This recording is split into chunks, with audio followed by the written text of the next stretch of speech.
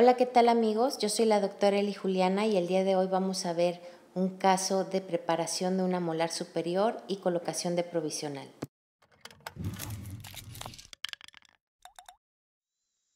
Bueno, les voy a poner un poco al tanto sobre el caso. Eh, la paciente llegó con nosotros ya con una endodoncia en la primera molar superior izquierda sin poste y con una incrustación inlay fracturada.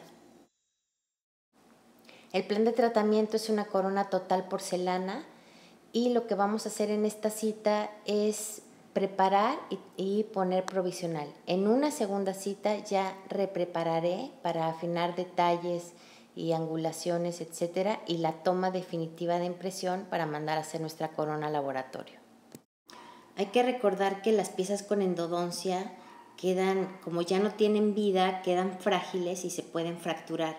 Entonces vamos a poner una corona total para proteger este, esa, la integridad del diente. Que la mínima restauración que se debe de poner en las piezas posteriores, hablando de premolares y molares, después de una endodoncia, es una onlay.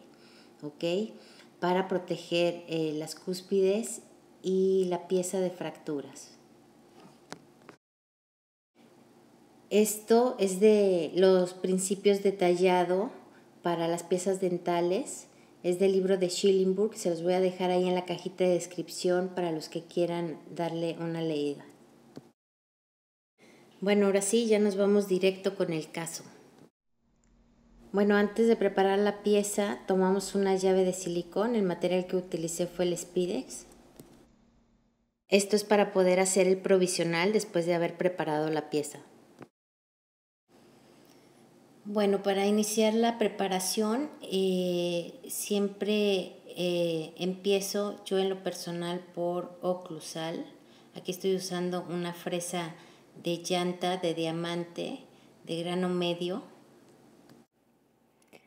bueno, ahora vamos a usar una fresa de torpedo grano medio de diamante que le estoy usando para redondear eh, los ángulos rectos que deja la, la fresa de llanta.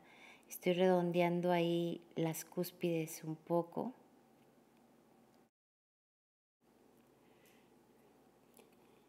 Entonces empiezo a desgastar ahora la parte vestibular usando la fresa en distintas inclinaciones. Cuando estoy en cervical uso la punta, cuando estoy en el tercio medio uso la parte media de la fresa y después eh, la inclino también cuando estoy desgastando en incisal de esta manera.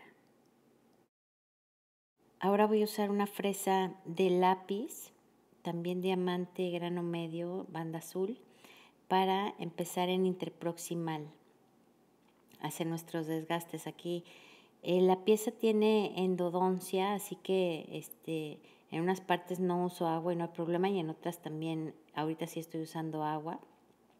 Pero cuando es una pieza vital es importantísimo que haya muy buena irrigación. ¿Ok? Entonces ya me estoy acercando a interproximal. Estoy haciendo primero un desgaste en la parte más oclusal y sin acercarme al diente vecino, ¿verdad? Lo, lo hago siempre este, recargándome hacia el mismo diente en el que estoy trabajando. Y ya cuando me queda una parte pequeña eh, de tejido dental en interproximal, la retiro con una lija dentada de metal como con esto para cuidar la integridad del diente vecino. Entonces con esto quito el punto de contacto. También me ayudo con un explorador para retirar eh, los restos de, tejido.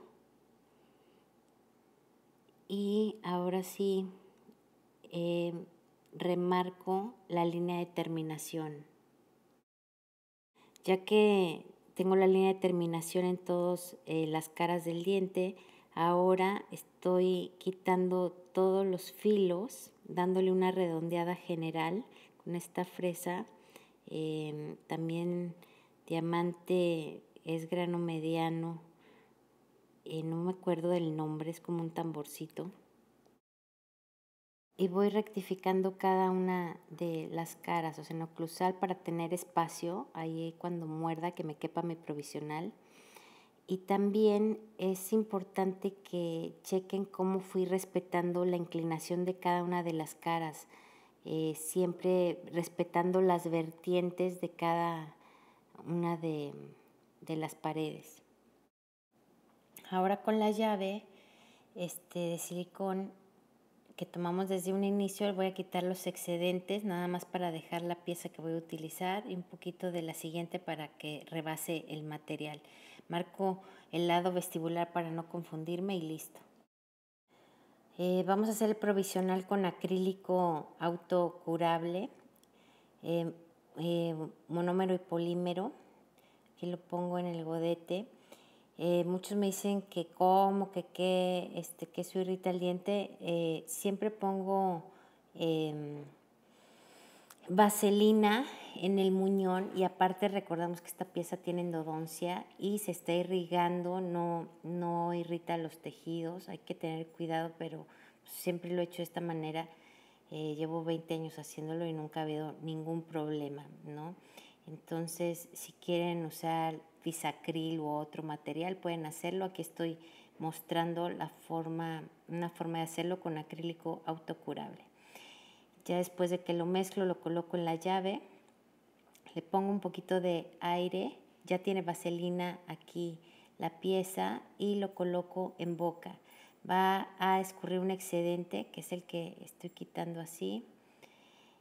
Y lo vamos a dejar nada más unos segunditos y cuando lo retire, ahí está, ese marcó, la paciente se puede enjuagar y este, de mientras yo aquí con agua caliente lo enjuago para que vaya polimerizando más rápido y poderlo sacar de la llave, así, aquí, ahí se me cayó, pero hay que agarrarlo con mucho cuidado porque se puede deformar, entonces estoy siendo muy, muy delicada y quito de una vez, recorto los excedentes para no tenerlos que recortar con la fresa lo más que pueda sin pasarme de la línea de terminación y lo llevo a boca, lo adapto para que ahí siga polimerizando. Así, ahí está la molar, listo. Lo vamos a sacar y a colocar varias veces y estar irrigando en lo que polimeriza.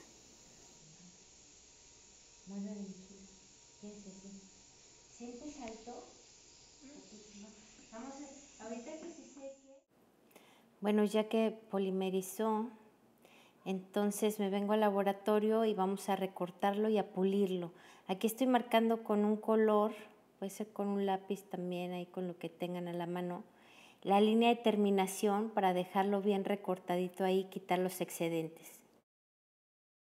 Voy a empezar con, una, con un fresón de, en forma de pera para quitar rápidamente todos los excesos, quedándome justo donde marqué la línea de terminación.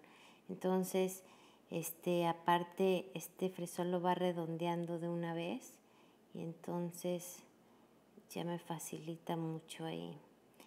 Como ya había quitado con las tijeras los grandes excedentes, ahorita nada más son detalles pequeños.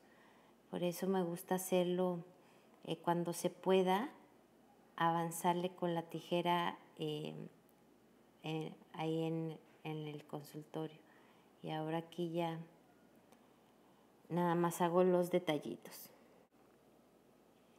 Después con una, eh, un fresón de bola chiquito, marco un poquito ahí la anatomía, los surcos.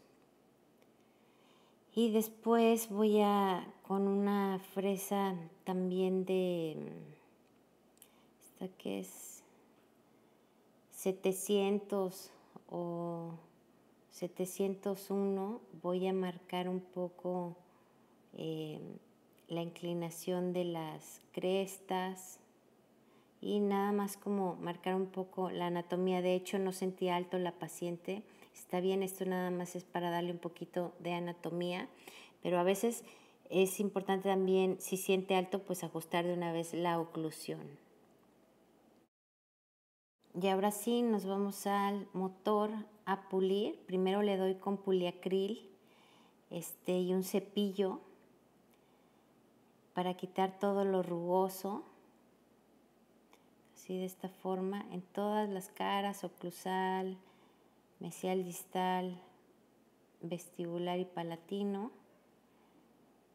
Y ahora cambio a un fieltro que es este para brillantar. Uso este de la marca Jato y con este vamos a empezar a, a brillantar dejarlo más terso. Pueden usar también blanco España este, y con, con algún fieltro, ¿verdad? Bueno, de esta manera. Listo.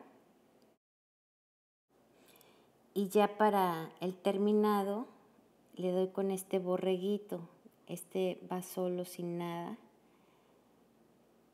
Y ya le saca el brillo final. Entonces es el, un pulido en tres pasos. También igual por todas las caras y listo. Ahora ya lo vamos a cementar. Aquí tengo la loseta, lo voy a poner con cemento provisional de policarboxilato que se llama PCA y es para piezas que tengan endodoncia como este es el caso. Así que este, pongo una porción de polvo, aquí también tengo por dos gotitas o pongo una grande y una chiquita porque a veces me falta. Sigan las indicaciones del fabricante, pero yo así ya me las sé por como está haciendo el calor acá en Monterrey y toda la cosa, voy a necesitar un chirris más y tengo también una batelenguas aquí ya por la mitad para hacer presión ya cuando ocluya. Entonces empiezo a hacer la mezcla uniendo el polvo y el líquido en movimiento circular y después lo voy a juntar con la espátula ya que tenga una consistencia uniforme. Muy bien. Y lo voy a poner con el explorador. A mí me gusta ponerlo con explorador, no directo con la espátula para que no se no quede tan cargado, sino yo le digo así pintadito y solo escurran los excedentes y así lo puedo acomodar por todas las paredes del provisional. Así que bueno, ya estamos y nos vamos ahora sí a colocarlo en boca. Bueno, pues ahora sí que haga oclusión y que seque quitamos excedentes. Pues eso es todo. Nos vemos en la próxima. Suscríbanse a mi canal. Seguimos conectados con el corazón. Gracias.